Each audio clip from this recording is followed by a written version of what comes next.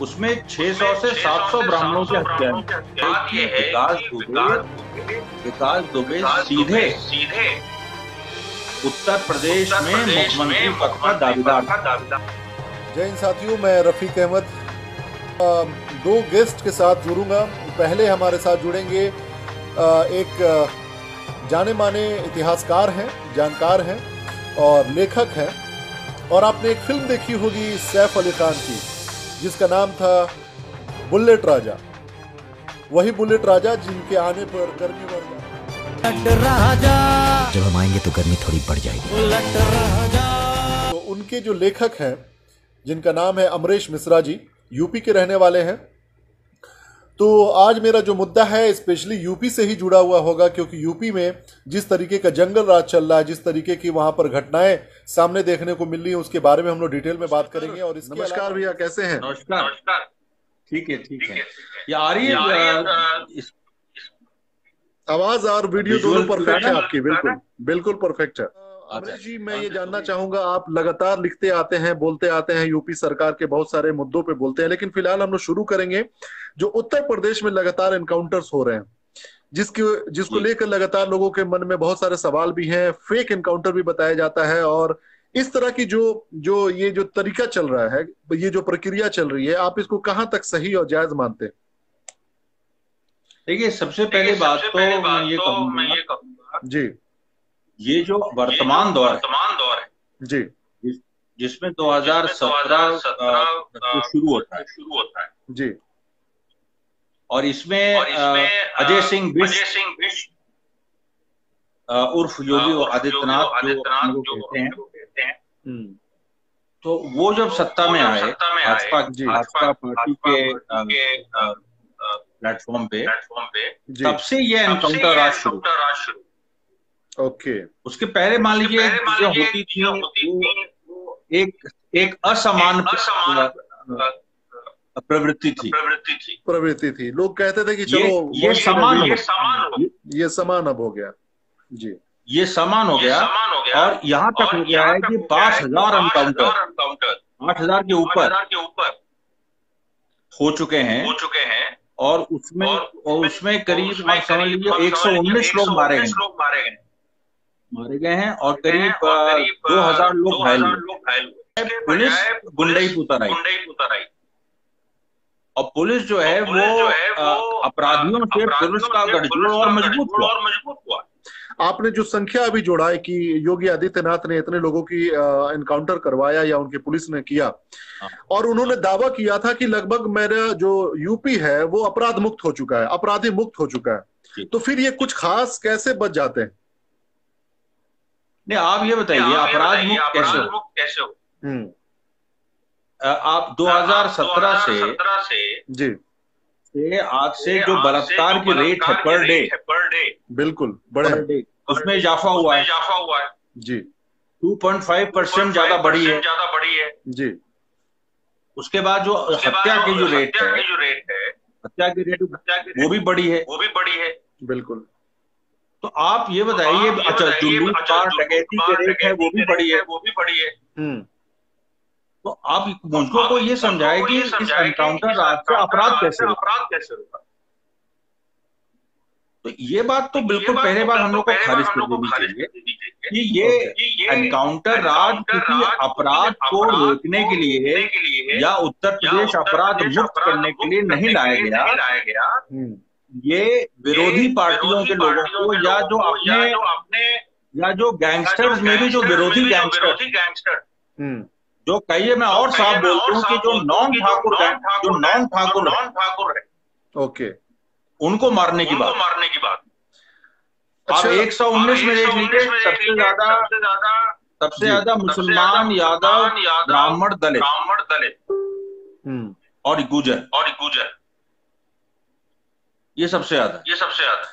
तो अमरीश जी जैसे कि आप मैं आपके पोस्ट से या फिर आपकी फ़िल्म की भी अगर मैं बात करूँ तो उसमें बुलेट राजा को एक ब्राह्मण समाज का बताया गया है कि बुलेट राजा जो सैफ अली खान ये किए हैं कि भाई जब वो शांत है तो सुदामा है और भड़क जाए या गुस्सा में आ जाए तो रावण है। रावण तो मतलब आप आपकी मैं एक विचारधारा देखता हूँ जो प्रो ब्राह्मणवाद की तरफ़ दिखता है। आपके पोस्ट में भी ये बातें मुझे दिखती हैं। आप एक जैसे कि आपने विदेश विकास दुबे के एनकाउंटर पे बात उठाया कि इससे पहले की जो और भी अपराधी थे या फिर विकास दुबे को जिस तरीके से मारा जाए ये ब्राह्मण को चुन चुन के मारा जा रहा है। आपके कई पोस्ट मैंने लगातार देखे हैं जिसमें आपने ये नंबर्स जुड़वाए हैं कि ये जो अभी की मौजूदा सरकार है वो ब्राह्मण विरोधी है और लगातार ब्राह्मणों की हत्या करवा रही ये इसके पीछे क्या बेस है? मतलब क्यों आप ऐसा कह रहे हैं? क्या इसके पीछे आप आंकड़े हैं आंकड़े हैं। हम्म। ये तो बहुत ही साफ़ बात है अभी तक देखिए 2017 से। जी। एग्जैक्ट तो कोई तो सरकार ने डेटा रिलीज़ नहीं किया है। जी। लेकिन लेकिन जो अनऑफिशियल डेटा डेटा है। हम्म। उसमें 600 से 700 ब्राह्मणों की हत्याएँ हुई हैं। और राजनीतिक हत्याएँ मतलब 80 परसेंट राजनीतिक हत्या राजनीतिक हत्या का क्या आशा है मेरा? जी। वो ये है कि आपकी ऐसे लोग जो राजनीति में उभर रहे जी। उनकी हत्या कर दी। हत्या कर दी। जैसे छात्र नेता जैसे जैसे जैसे प्रधानी के प्रधानी के के स्तर पे कोई भर रहा है कोई जिला पंचायत के स्तर पे भर रहा है चुनाव लड़ेगा आगे चल के जीत भी सकता है।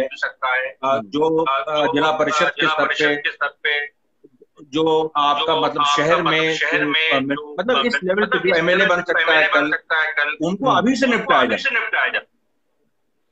तो विकास दुबे शायद उसी लाइन पे चल रहे थे क्या? देखिए विकास दुबे की सच्चाई मैं आप कहिए तो मैं ऐसी बात बोल दूँ अभी जो मैं पहली बार कही जा रही नहीं अभी तो खैर ऑलरेडी एनकाउंटर हो चुका है तो कुछ ऐसी बात बोलने का फ़ायदा नहीं है जिससे बात दूसरी तरफ़ जाए। लेकिन मेरा मकसद ये जानने का है कि अगर अपराधी कोई है सच्चाई बताऊँगा। जी जी जी बोलिए बोलिए बोलिए दीजिए हटाइए। देखिए बात ये है कि लोग कह रहे हैं कि विकास दुबे को इसलिए मार दिया गया। कि उसके पास बहुत सारे राज थे। हम्म, हम्म, हम्म। कि वो नेताओं का और अपराध का और पुलिस अफसरों के गठजोड़ की बोलता। ऐसा नहीं है। ऐसा नहीं है। अच्छा। ऐसा है ही नहीं। ऐसा है ही नहीं। वो क्या खोल वो क्या खोल मैं आपको असली बात बताता हूँ क्या। बताता हूँ क्या। जी। और ये सारे पाठक इस चीज़ को ध्यान ध्यान से सुन। ध्यान से सुन। देखिए बात यह है कि विकास दुबे विकास दुबे सीधे सीधे उत्तर प्रदेश में मुख्यमंत्री पद का दावेदार दावेदार अच्छा। ये लोगों को नहीं पता। लोगों को नहीं पता। और भाजपा के अंदर ही था अंदर ही था और उसके पास आठ हज़ार करोड़ के बराबर प्रॉपर्टी थी। उसने ये पॉलिसी ली थी कि हम हम पहले पैसा जमा करेंगे। जमा करेंगे। और बड़ी पूंजी बनाएँगे और फिर हम फिर हम योगी आदित्यनाथ को चैलेंज करें। को चैलेंज करें। अच्छा। और इसी बीच जो जो जो योगी आदित्यनाथ एक अपनी लॉबी बना रहे। बना रहे। जो भी उसमें भी कुछ ब्राह्मण थे। ब्राह्मण थे। जैसे जैसे उसमें कानपुर के जय वाजपेयी के नाम। के नाम। हम्म। जो विकास दुबे से भी जुड़े थे और योगी आदित्यनाथ से भी जुड़े थे। अच्छा। और इन लोगों और ये ये बात वहाँ यहाँ से लीक हुई कि भाई विकास दुबे जो है उसको अगर अभी नहीं रोका गया। नहीं रोका गया। तो दो साल में यूपी के चुनाव है ये कुछ या तो अपनी पार्टी बना लेगा बना लेगा या या अन्य हमारी जैसे छोटी पार्टियों से वो अलायंस कर लेगा कर लेगा और एक बड़े स्तर पे एक योगी आदित्यनाथ को चैलेंज करेगा ये तो बहुत बड़ी बात जो है बाकी तबके भी जुड़ रहे मुस्लिम भी जुड़ते हैं उसके साथ कुछ हद तक यादव भी जुड़ते उस बेल्ट में कुर्मी है पाल है पाल है। वो भी उसके साथ जुड़ते तो, तो मेरा ख्याल तो मेरा ख्याल जो कानपुर की घटना घटी थी ये जो कानपुर की जो घटना घटी थी ये तो बहुत ही मतलब इसके बारे में क्या कहेंगे? जो जिसमें पुलिस को मार दिया गया मैं आपको बता रहा हूँ कि पूरे की मुख्यमंत्री सीएमओ। सीएमओ। मुख्यमंत्री आवास से आदेश गया। आदेश गया। हम्म। और वहाँ पर जो इस समय प्रशांत कुमार हैं कुमार हैं जो एडीजी हैं। एडीजी हैं। और उसके बाद जो पूरा कानपुर का जो आईजी है पूरा पूरा उसमें यह था कि विकास दुबे का एनकाउंटर कर अच्छा। और एक चीज़ और मैं आपको बताऊँ? मैं आपको बताऊँ। जी। कि ये ये कोई लोकल कानपुर के थाने की मुखबरी नहीं थी कि उन्होंने विकास दुबे को बता दिया कि लोग आ रहे हैं सीएमओ के अंदर के अंदर जो ब्राह्मण लॉबी है लॉबी है उसी ने विकास दुबे को टिप ऑफ़ किया। अच्छा। और और और विकास दुबे ने उसको ये हुआ था कि हुआ था उसमें कोई ये जो विनय तिवारी जो चौबेपुर के एसओ में निकाल दिया छोटे मोटे लोगों की बात ही नहीं। बात ही नहीं। सीएमओ से ही टिपिंग आई थी कि इनको इनको ये इनको- कि आप आप आप निकल जाइए। लेकिन विनय दुबे भाई एक अपने भाई तरह के बहादुर के आदमी थे उन्होंने कहा कि हम मुकाबला करेंगे? और मैं मैसेज देंगे। और करीब पचास पुलिस वाले आगे से आ रहे थे। पीछे से घेरे हुए थे ये। इनको चारों तरफ़ से घेरा।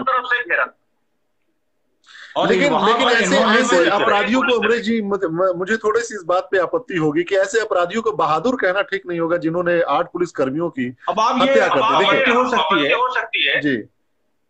लेकिन देखिए एक मैं इतिहासकार हूँ। जी। और सोशल साइंटिस्ट साइंटिस्ट हूँ। जी। देखिए जिस समाज जिस में समाज में एक वर्ग संघर्ष संघर्ष और सही राजनीति नहीं हो पाती। नहीं हो पाती। वहाँ अपराधी कई बार कई जो बार है वो है वो बगावत बगावत बगावत का या सत्ता के खिलाफ बगावत का नेतृत्व करते का नेतृत्व करते। हैं। ये सच्चाई। ये सच्चाई। जी। तो जब फूलन तो जो देवी को फूलन हम देवी एक बड़ा मान एक सकते बड़ा हैं मान सकते हैं और उसके साथ और हम मान सिंह और चंबल में पूरा इतिहास है कि इतिहास वहाँ तो वहाँ तो तो हमारे तो दोस्त की पिक्चर का डायलॉग है अच्छा। कि हम डकैत नहीं बागी हैं। बागी हैं। अच्छा। मान सिंह तोमर का। सिंह तोमर का। पवन सिंह तोमर जी हाँ। इरफान और और कानपुर और बुंदेलखंड कितने पास है? कितने पास है? सही तो मेरा कहने का तो मतलब ये है कि मैं मतलब दो लोग एक नहीं होते। एक नहीं होते। हैं लेकिन फिर भी फिर भी मुख्यतः क्या है कि एक ऐसी एक स्थिति में एक राजनीतिक शून्य में शून्य में जी। जब लोगों के ऊपर जुल्म हो रहे हैं जुल्म हो रहे हैं हम्म। तो कई बार अपराधी जो है है वो जनता को प्रतिनिधित्व करने लगता है। करने लगता है। इसके लिए कौन जिम्मेदार? कौन जिम्मेदार? इसके लिए इसके लिए व्यवस्था जिम्मेदार है जिम्मेदार है बिल्कुल। सही बात है। भाई सुल्ताना डाकू अंग्रेज़ों के खिलाफ के उभरे थे। वो भी तो गरीबों की मदद कर रहे थे। मदद कर रहे थे। लेकिन एक बात इसमें ये बात भी निकल के सामने आ सकती है अमरीश जी की अगर आप ये कहने की कोशिश कर रहे हैं कि चूँकि आप ब्राह्मण समाज से हैं और ब्राह्मण कोई इस तरह के छवि का दिखाई दे रहा है आपको तो आप उसकी फेवर कर रहे हैं। तो अगर हर समाज के लोग इस तरीके के छवि के लोगों की मदद या फिर वैचारिक तौर पे उसका समर्थन करने लगे तो आपको क्या लगता है कि अपराध कभी रुकेगा? सब अपना अपना जस्टिफिकेशन देंगे फिर। भाई देखिए अपराध को रोकना या न रोकना ये किसी व्यक्ति या किसी एक एक बुद्धिजीवी के बस की बात। के बस की बात। ठीक है। अगर हमने ये कहा कि कि देवी के ऊपर अत्याचार हुआ। जी। और ये नहीं कहा कि उसने जो कहा सही किया उसने उसने जो किया वो सही किया वो सही किया। लेकिन लेकिन और मैं आपको बता दूँ कि मैं मैं कि फूलन देवी पार्ट टू लिख हूँ। अच्छा क्या बात है बहुत हाँ बॉबी बेदी हाँ, बेदी के लिए। जिन्होंने बैंडेड क्वीन प्रोड्यूस की थी। जी जी जी बिल्कुल। उन्हीं का ये उन्हीं के लिए उन्हीं के लिए उन्होंने मुझको कमीशन किया है। कमीशन किया है। वाह। बैंडेड क्वीन पार्ट टू लिखने Queen के लिए। टू लिखने के लिए। और अभी और अभी, उनके उनके जो उनके जो उनके पति हैं उनके सिंह जी उमेद सिंह जी। मेरे साथ मैं अभी दिसंबर में दिसंबर में महीने का इंटरव्यू उनके साथ हुआ। मेरा। है जो जो वो जब से वो सांसद बनी। सांसद बनी और जो हत्या हुई जो हत्या हुई उनकी जी। उसकी साजिश क्या उसकी है? साजिश क्या है? ये हमने एक्सप्लोर किया। हमने एक्सप्लोर वो भी बड़ी चौंकाने वाली। चौंकाने वाली। जी जी।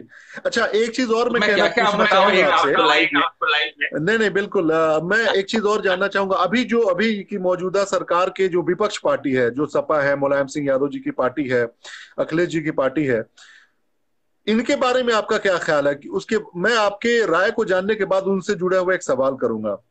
क्या आप कहना चाहेंगे इनके मतलब स्टैंड इनके पॉलिटिकल स्टैंड के बारे में? और खुद विकास दुबे के हत्या कांड मतलब इनकाउंटर पे उन्होंने सरकार को घेरा है। क्या कहेंगे? जी मुझे पता है। मुझे पता है। और इसके लिए ये ये मैं अखिलेश यादव जी का मैं मतलब इसमें मैं उनको धन्यवाद देना चाहूँगा या उनका मैं इस्तेमाल करना चाहूँगा कि उन्होंने कम से कम एक स्टैंड लिया। एक स्टैंड लिया। तो समाजवादी देखिए मैं इस समय वैचारिक रूप से और पार्टी भी है मेरी मैं विपक्ष में हूँ। मैं विपक्ष में हूँ। तो विपक्षी ताकतों की एकता पे मेरा ज़ोर है। पे मेरा ज़ोर है। बिल्कुल सही। तो जो भी हम इस समय समाजवादी पार्टी समाजवादी पार्टी न केवल विपक्ष में विपक्ष में है। जी। बल्कि जो सामाजिक समाजवादी पार्टी का जो आधार है। जो आधार है। जी। यादवों की बहुत हत्या है। बहुत हत्या है। मतलब आप ये समझ लीजिए कि इतनी ब्राह्मणों की दुनिया उसके बराबर यादव बराबर यादवों की। बहुत सारे केसेस तो ब्राह्मणों के तो रिपोर्ट रिपोर्ट भी हैं यादवों के रिपोर्टेड ही नहीं। बिल्कुल। अच्छा भैया लेकिन इसी से संबंधित एक मेरा सवाल है। क्या इसमें आपको ये डबल स्टैंडर्ड नज़र नहीं आता है सपा का? कि इससे पहले भी एक एक पुलिस अधिकारी की हत्या हुई थी जो डीएसपी रैंक के थे जियाउल हक जानते होंगे। और नाम किसका आया था? जी जी बिल्कुल राजा भैया का सवाल उठाया। सवाल उठाया था। मैंने सवाल उठाया सवाल उठाया बिल्कुल। तो ये मतलब ये डबल स्टैंडर्ड नहीं लगता है इनके स्टैंड का? देखिए इनके साथ समस्या क्या है? हम्म, समाजवादी पार्टी के साथ मैं खुल के कह रहा हूँ। हूँ। कोई समस्या नहीं है। समस्या नहीं इन्होंने ठाकुरों के साथ जो एक रिश्ता बनाया। और ये ये मुलायम सिंह के उस समय की बात है जब मुलायम सिंह के राजनीति के राजनीति पतन की ओर अग्रसर थी अग्रसर थी और हम्म, और 2002 और 2007 के बीच 2007 के बीच जी। जब अमर सिंह आए और अमर सिंह अमर एक गलत दिशा में ले गए जो खुद जो खुद जो इन्होंने माना खुद इन्होंने माना। 2012 के पहले अमर के सिंह को निष्कासित किया। जी। और जनेश्वर मिश्रा जी और सब लोग जो वरिष्ठ थे उन लोगों ने मिलकर अमर सिंह को निकाला। को निकाला। तो जनेश्वर जी की डेथ हो गई। डेथ हो गई। हम्म, उसके बाद फिर खैर तो जो भी तो है मतलब जो ये जो- अखिलेश सरकार ने भी जो ने भी 2012 जो 2017 के बीच 2017 के बीच उसमें एक बड़ी गलती बड़ी थी कि रघुराज प्रताप सिंह के साथ प्रताप अलायंस के साथ अलायंस कर ये बड़ी गलती थी। ये ये आदमी जो है ये ये ये ये किसी विचारधारा के नहीं है। ये किसी भी तरह की राजनीति के प्रति राजनीति कमिटेड नहीं है ये सामंती है, टाइप के। हम्म, हम्म। तो अभी तो जो यूपी तो सरकार है मौजूदा बिल्कुल बिल्कुल सही है। जो अभी यूपी सरकार है जो लगातार हर मोर्चे पे फेल होती आई है। आप किसानों की पार्टी हाँ। बनाने की बात हाँ। कर रहे हैं इसमें एक बात सबसे इंपॉर्टेंट है। अभी जो मजदूरों के साथ जो हालात हुए हैं जो कोविड 19 की वजह से आपने देखा होगा कि उन्होंने एक कानून को भी खत्म कर दिया जो लेबर लॉ से रिलेटेड है। मतलब हर मोर्चे पे यूपी सरकार फेल्यूर होती हुई नज़र आ रही है कि अगर हम बात करें बिहार की चूँकि मैं बिहार से हूँ तो बिहार में जब एक वक्त था कि लालू प्रसाद जी के समय में बहुत सारे जब घटनाएँ घटती थी तो इसको पूरी मीडिया वालों ने जंगल राज की उपाधि दे दी थी। यूपी में जो इस तरह के हालात हो रहे हैं लगातार हत्याएँ हो रही हैं जिस तरह के आप बता रहे हैं संख्या बता रहे हैं ब्राह्मण हो या यादव समाज के हो या मुस्लिम समाज के हो या कोई भी दूसरे समाज के हो सबकी मतलब कहीं ना कहीं अ, आप देख रहे हैं कि कहीं किसी को जानबूझ हत्याएँ के फंसाया जा रहा है। जो भी या रहा है, मार दिया जा रहा रहा मार दिया जा रहा है। बिल्कुल। तो इसको क्या आप जंगल राज नहीं कहेंगे? अरे जंगल राज? ये ये मतलब राक्षस राज। राक्षस राज। ये कहाँ से जंगल राज जंगल राज तो तो इसके इसके मुकाबले स्वर्ग है। ये तो राक्षस तो राज है। एक राक्षस हमारा मुख्यमंत्री है। है। और जिसके साथ भी एक राक्षसों की टीम है। राक्षसों और इसमें देखिए अभी जो अभी जो हर तरीके के जो इन्होंने हत्याएँ की हैं जन हत्या ब्रह्म हत्या, हर तरह की चीज़ें की की चीज़ें की है। अब ये देखिए ये इसके ये खिलाफ इसके जो खिलाफ है जो है एक आखिरी है कि सुप्रीम कोर्ट कल देखिए तय हो जाएगा कि सुप्रीम कोर्ट इस मामले में संज्ञान लेके जी कोई जुडिशियल इंक्वायरी बैठाता है कि नहीं? बैठाता है कि नहीं? ठीक है। हमको उम्मीद कम है। उम्मीद कम है। लेकिन अगर सुप्रीम कोर्ट ने भी सरकार का बचाव किया। आप समझ लीजिए लिख के ले लीजिए भाई। जी। कि इसमें उत्तर प्रदेश में एक साल के अंदर एक बहुत बड़ा जन विद्रोह होगा जन विद्रोह होगा। किसी भी तरीके का होगा उसमें कई लोग शामिल होंगे और वो हिंसात्मक हो। हो। आप देख लीजिएगा और ये मैं ये मैं एक समाज शास्त्री के, तौर पे कह रहा हूँ जो ट्रेंड्स को समझ रहा रहा जो ट्रेंड्स को समझ रहा है। जैसे अंग्रेज़ों के राज में आप देखिए तो देखिए तो कर दिया ये जो स्थितियाँ हैं इसमें आप देखिए तो लेकिन लोग किसान- किसानों का विद्रोह होगा। इसमें किसान इसमें अब हुआ। विद्रोह होगा। लगातार आदिवासियों का विद्रोह होगा। लगातार आदिवासियों का विद्रोह होगा। बिल्कुल सही। आदिवासी तो उसी तरीके से यहाँ भी आप तरीके देखिए से तो यहाँ भी आप अलग अलग देखिए तबके तो विद्रोह करें अलग-अलग तबके विद्रोह करें और 2022 में सरकार का जाना तय है। अगर ये अगर ये बनी रही है। बनी रही है। हम्म। सही। इसमें आप देखिएगा कि विपक्ष की भी विपक्ष की एक होना पड़ेगा नहीं भी पड़ेगा, हुआ। तो जनता अपना तो विपक्ष तैयार करेगी। करे तैयार करे क्योंकि आम जनता परेशान हो रही है तो जनता खुद ही सड़क पर उतरेगी। बिल्कुल। बिल्कुल। बिल्कुल। बिल्कुल। अभी आप देखिए आप आप अच्छा ये बताइए अच्छा जी। उत्तर प्रदेश में इतने मतलब उत्तर प्रदेश मतलब प्रदेश में- अपराध तो नया है नहीं। तो नया है बिल्कुल सही बात। और हमेशा ही हर हर हर कम्युनिटी से मुस्लिम में से ठाकुरों में से ब्राह्मणों में से बड़े बड़े हरिशंकर तिवारी वीरेंद्र शाही की लड़ाई चली। हर पैंतालीस मिनट में गोरखपुर में एक हत्या होती थी वो भी दौड़ था बिल्कुल सही बात। बिल्कुल। लेकिन आपने विकास दुबे का नाम सुना? आप सच बताइए। आप सच बताइए। नहीं बिल्कुल फ़र्स्ट नहीं टाइम मैं सुना। भी सुन रहा हूँ। यही मैं कह रहा यही मैं कहता हूँ हूँ। आपने नहीं सुना। आपने तो ऐसे तो लोग ऐसे लोग जिनका आपने नाम नहीं सुना नाम नहीं सुना। वो एकदम से उभरे एकदम से उभरे जैसे मतलब ब्राह्मणों के खिलाफ रंजिश जैसे हो गई। जैसे हो गई। उस पर ये जानते नहीं है यहाँ ठाकुर छह सात परसेंट है। ब्राह्मण चौदह परसेंट चौदह परसेंट है। आर पार की लड़ाई होगी तो ये टिक नहीं पाए। हम लोग भी असलहों में कम नहीं है। हम सीधे करें रबी पर। अगर ये नौबत आ गई तो ये बुद्धिजीवी बुद्धिजीवी हथियार उठा लेगा। हथियार उठा लेगा। बिल्कुल ये मतलब देखिए ब्राह्मण समाज की तो बहुत रिस्पेक्ट अब योगी आदित्यनाथ के बारे में बात करें भी तो योगी आदित्यनाथ के ऊपर में भी खुद बहुत सारे आपराधिक मामले हैं। जी। और मुझे याद है कि 2014 के इलेक्शन के वक्त में प्रधानमंत्री मोदी जी घूम घूम कर प्रचार किया करते थे कि भले हमारे ही पार्टी का कोई सांसद क्यों क्यों ना हो हम उसके खिलाफ कार्रवाई करेंगे फास्ट ट्रैक में उसको जेल में भिजवाएँगे। लेकिन ये ये कहानी मतलब क्या लगता है आपको? ये भी एक ड्रामेबाजी थी। देखिए अब देखिए, ये तो ये तो एक्चुअली मज़ाक है क्योंकि खुद नरेंद्र मोदी नरेंद्र मोदी खुद नरेंद्र मोदी कितने आरोपों से घिरे रहे हैं। गृह मंत्री कितने आरोपों से घिरे घिरे रहे हैं। अब ये है कि ये आदित्यनाथ के ऊपर तो खुला मामला है। खुला मामला है। ये जेल में थे। जेल में थे। ये आके ये आगे आके संसद में रोए। रोए। बिल्कुल। ये ग्यारह दिन जेल में थे। ये आके संसद में रोए हैं। रोए इनका फुटेज है। है।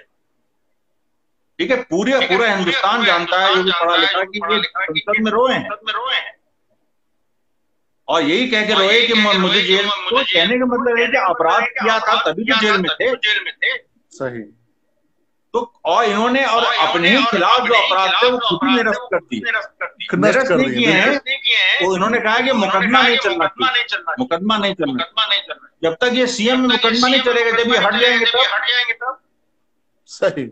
तब तो चलेगा। तो या तो ये प्लानिंग है कि इनको कभी हटना ही नहीं है। हटना ही नहीं है। तो तो फिर उत्तर प्रदेश की जनता हमेशा लोकतांत्रिक ना रहती है। अंग्रेज़ों के खिलाफ हमने बंदूक उठाई थी तो इनके खिलाफ उठाने। के खिलाफ उठा लें